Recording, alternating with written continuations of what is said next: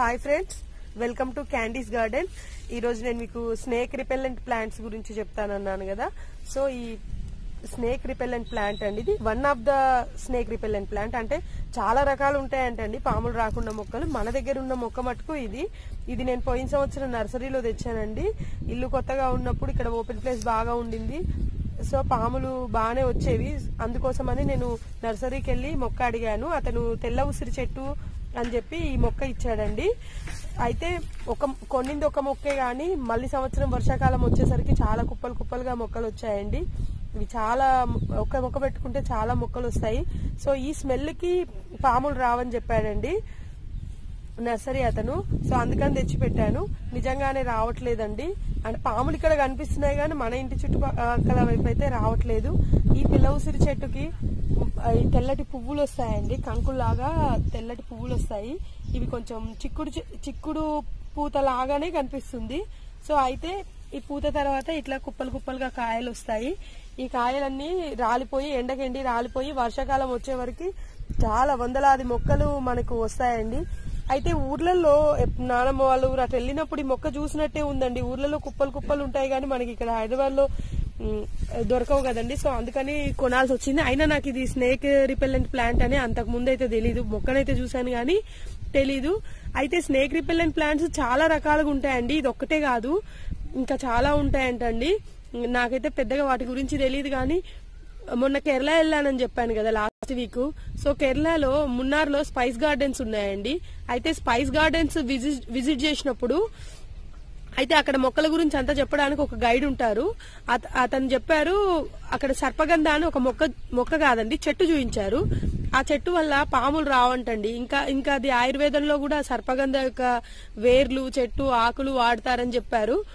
అయితే ఆ సర్పగంధ మొక్క నేను చూశాను. మీకు లాస్ట్లో పిక్ పెడతాను. పిక్ మాత్రమే ఉందండి. ఆ పిక్ నేను మీకు లాస్ట్లో పెడతాను. అయితే సర్పగంధ వల్ల అక్కడ పాములు రావంటండి.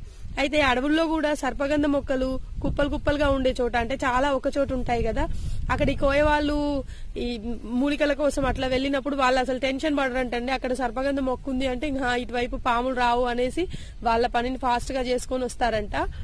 సో ఆ ప- సర్పగంధ మటుకు చాలా పవర్ఫుల్ అని చెప్పాడు.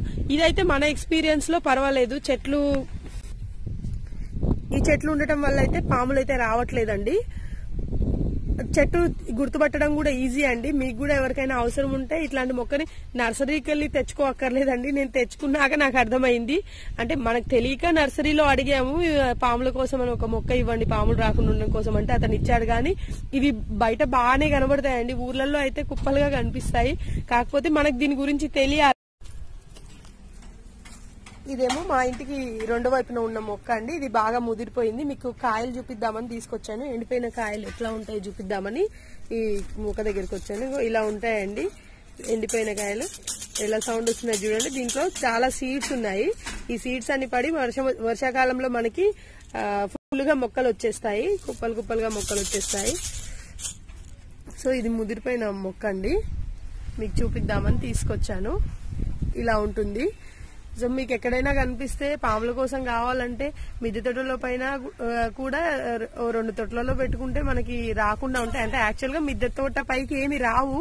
ఇట్లానే అవుట్స్కట్స్లో అట్లా అంటే పాసిబిలిటీ ఉంటే రెండు మొక్కలు వేసుకుంటే బాగానే ఉంటుంది. అయినా కూడా మొక్క కూడా చూడడానికి బాగానే ఉంటుందండి.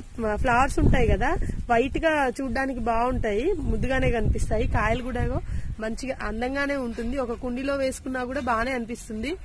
పాముల కోసమే కాకుండా షో కూడా మనం దీన్ని పెంచుకోవచ్చు. ఇదండి ఈ- ఈ మొక్క గురించి.